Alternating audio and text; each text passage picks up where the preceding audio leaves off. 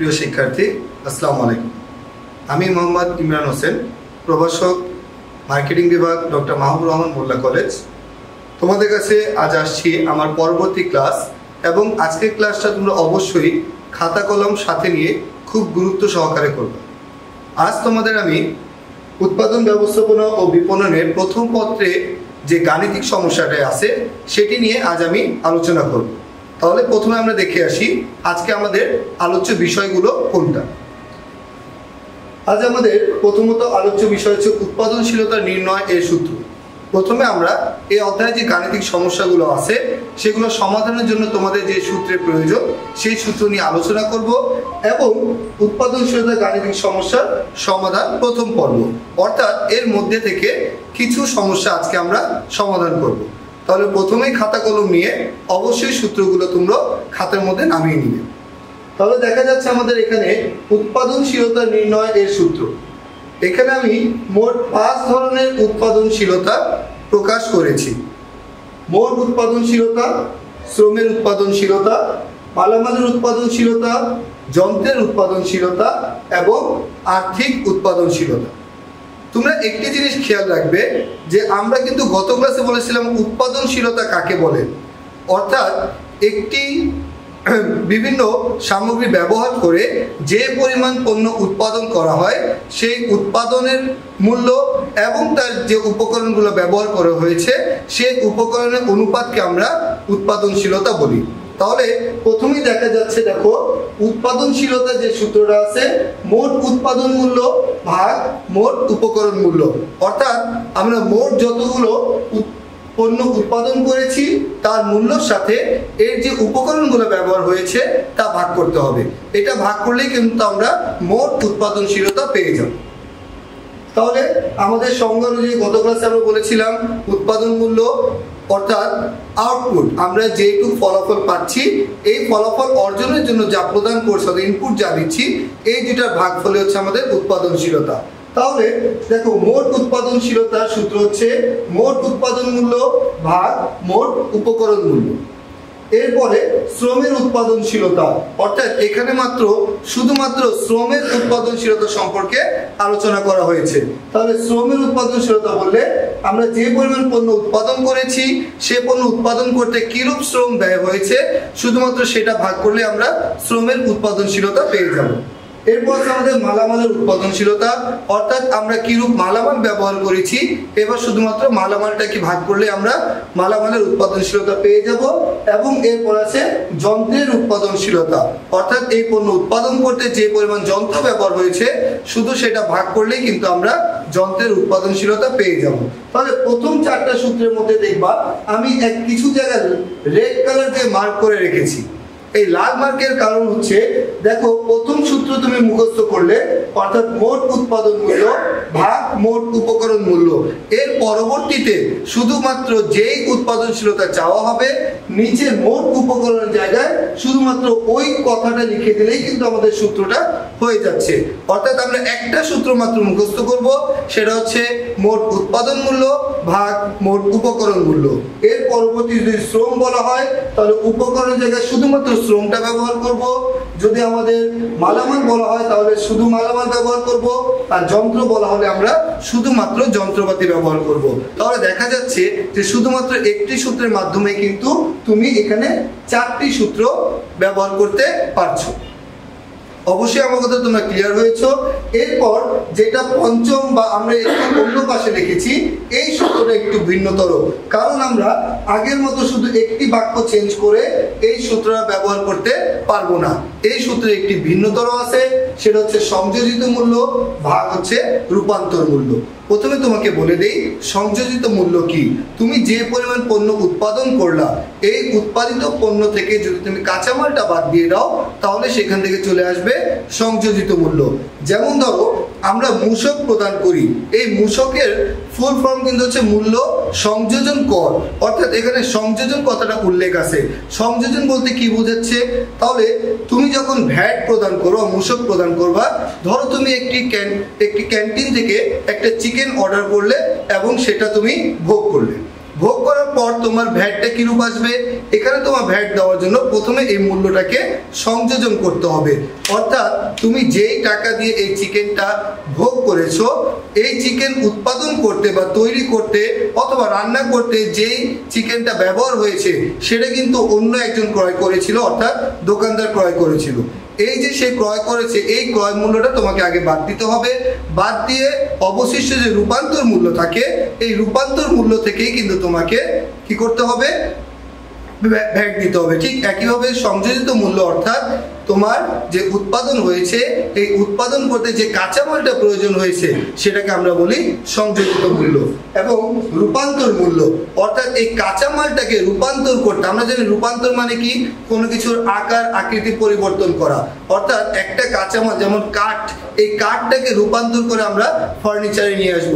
তাহলে এই কাঠটা রূপান্তর করতে, কাঠ থেকে ফার্নিচারে রূপান্তর করতে আমার যে ব্যয়টা হচ্ছে, সেটা হচ্ছে আমাদের রূপান্তর ব্যয়।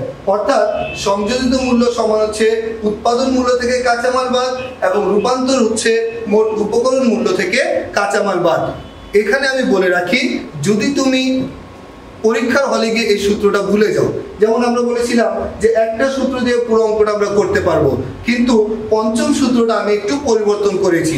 অবশ্যই তোমরা এই পঞ্চম সূত্রটা ব্যবহার করবা, কিন্তু যদি পরীক্ষার হলে গিয়ে তোমরা ভুলে যাও যে পঞ্চম সূত্রটা কি ছিল, সেক্ষেত্রে যে কাজটা করতে পারো, সেই প্রথম সূত্রটাই আবার তোমরা লিখে দিবা। শুধুমাত্র উপরে এবং নিচে, অর্থাৎ লব এবং হর, উভয় পাশে কাঁচামালটা বাদ দিয়ে দিবা। তাহলে কিন্তু দেখো তোমার সূত্রটা আবার আরও ইজি হয়ে গেল। আমি কিন্তু বারবার বলছি যে সংযোজিত মূল্য, রূপান্তর মূল্য অবশ্যই থাকা লাগবে। বাই চান্স যদি ভুলে যাও, কারণ তোমরা তো একটা সাবজেক্ট পরীক্ষা দাও, একটা সাবজেক্টে শুধুমাত্র একটা বিষয় পরীক্ষা দাও না। এই অধ্যায়ে অনেকগুলো বিষয় আছে, তাই অনেক সময় হতেই পারে তোমরা ভুলে যাচ্ছ। সেই ক্ষেত্রে কি করবা? উৎপাদন মূল্য, উপকরণ মূল্য, উভয় পাশ থেকে কাঁচামালটা বাদ দিয়ে দিবা। তাহলে কিন্তু তোমার সংযোজিত মূল্য এবং রূপান্তর মূল্য বের হয়ে গেল তাহলে অবশ্যই তোমরা সূত্রটা বুঝতে পেরেছ এবং কীভাবে আয়ত্ত করবে সেটাও তোমরা জানতে পেরেছ। এখন আমরা একটা সমস্যার মধ্যে চলে যাই। তাহলে দেখো উৎপাদনশীলতার গাণিতিক সমস্যা। এখন এখানে আমি সমস্যা একের মধ্যে বলেছি।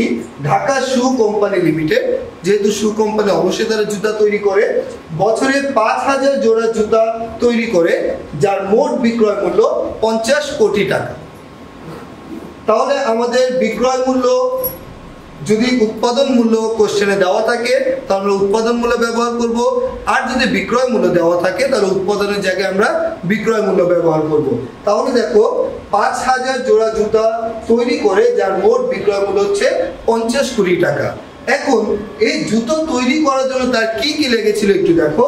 এই জুতো তৈরি করা বাবদ যে পরিমাণ কাঁচামাল ও অন্যান্য উপকরণ ব্যবহৃত হয়েছে, তার মূল্য হচ্ছে বিশ কোটি টাকা। অর্থাৎ এই জুতাটা তৈরি করতে তার বিশ কোটি টাকার কাঁচামাল ব্যবহার করতে হয়েছে। কর্মকর্তা ও কর্মচারীদের শ্রম ব্যয় হয়েছে পঞ্চাশ হাজার ঘণ্টা, যার মূল্য পাঁচ কোটি টাকা। কর্মচারীদের জন্য টোটাল পঞ্চাশ হাজার ঘণ্টা কর্মচারী কাজ করছে এবং তাদের ব্যয় হয়েছে পাঁচ কোটি টাকা। আবার পাঁচ হাজার ঘণ্টা বিভিন্ন যন্ত্রপাতি ব্যবহৃত হয়েছে, যার আনুমানিক মূল্য হচ্ছে পাঁচ কোটি টাকা। এখানে দেখো, যন্ত্রপাতি পাঁচ হাজার ঘণ্টা, অর্থাৎ বিভিন্ন মেশিন চালিত হয়েছে। সে মেশিনে ব্যয় হয়েছে পাঁচ কোটি টাকা এবং বিবিধ খাতে দশ কোটি টাকা খরচ হয়েছে। মানে অন্যান্য অনেক কিছু নিয়ে আরও দশ কোটি টাকা খরচ হয়েছে। এখন বলছে ঢাকা শু কোম্পানির বিভিন্ন ধরনের উৎপাদনশীলতা নির্ণয় করে। আমরা প্রথমে অঙ্কের সমাধানে যাওয়ার আগে একটু দেখে নিই আমরা কোন বিষয়গুলো এখানে পেলাম। এখানে প্রথম আমরা পেলাম বিক্রয় মূল্য। এবং এই পণ্যটা উৎপাদন করার পরে তো বিক্রয় করা হয়েছে। তো উৎপাদন করার জন্য কি কি লেগেছিল? কাঁচামাল, শ্রম যন্ত্রপাতি এবং বিবিধ। এই সকল ব্যয়গুলো আমাদের হয়েছিল। তাহলে এখানে একটু খেয়াল করে আমাদের বলা হয়েছে, ঢাকা শু কোম্পানির বিভিন্ন ধরনের উৎপাদনশীলতা নির্ণয় করো। তাহলে একটু খেয়াল করবা, এখানে প্রথমত আমাদের মনে রাখতে হবে যে প্রশ্নে নির্দিষ্টভাবে কোনো উৎপাদনশীলতা নির্ণয় করতে হবে তা উল্লেখ করে বলে দেয় নাই। অর্থাৎ কোশ্চেনে কিন্তু আমাদের বলে দিবে যে মোট উৎপাদনশীলতা নির্ণয় করো, অথবা শ্রমের উৎপাদনশীলতা নির্ণয় করো, অথবা কাঁচামাল, অথবা আর্থিক উৎপাদনশীলতা নির্ণয় করো। যদি এই ধরনের কিছু বলে না দেয়, অর্থাৎ আমাদের আগের অঙ্কে আমরা একটু গিয়ে দেখি, এখানে কিন্তু বলেছিল, ঢাকা সু কোম্পানির বিভিন্ন ধরনের উৎপাদনশীলতা নির্ণয় করো। বিভিন্ন ধরন, নির্দিষ্ট কোনো উৎপাদনশীলতার কথা কিন্তু তারা বলে নেই। তাহলে আমরা এখন কি করব? এমন অবস্থা আমাদের প্রত্যেকটি উৎপাদনশীলতা নির্ণয় করতে হবে।